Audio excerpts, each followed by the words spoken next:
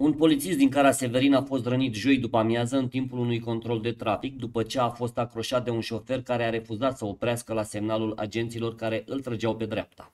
Bărbatul a fost prins după ce oamenii legii au tras mai multe focuri de armă asupra autoturismului său marca Ferrari. Ulterior, el a fost reținut de polițiști și va fi extradat în Austria, unde are un mandat european de arestare, a informat vineri IPJ Cara Severin.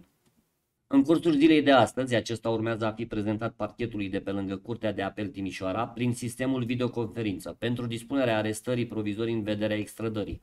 Având în vedere că pe numele bărbatului este emis un mandat european de arestare de către autoritățile austriece pentru săvârșirea de infracțiuni contra patrimoniului. Autorul faptei este un șofer de 42 de ani din Reșița. În urma incidentului, el a fost dus la sediul poliției pentru cercetări și dispunerea măsurilor legale. El le-a declarat polițiștilor că urma să fie nași la o nuntă. În imaginile surprinse de un martor se vede cum șoferul a încetinit inițial, după care a accelerat și l-a lovit pe polițist. Din verificările efectuate s-a stabilit că polițiștii au efectuat semnalul regulamentar de oprire a autoturismului în cauză. Autoturismul ar fi încetinit, apoi ar fi accelerat, moment în care l-ar fi acroșat pe agentul de poliție care se afla lângă mașina acestuia, solicitându-i conducătorului auto să oprească autoturismul și să prezinte documentele pentru control. După ce polițistul a fost lovit, un coleg de-al său a tras trei focuri cu armamentul din dotare, iar autoturismul a fost oprit după aproximativ 400 de metri de un alt echipaj de poliție.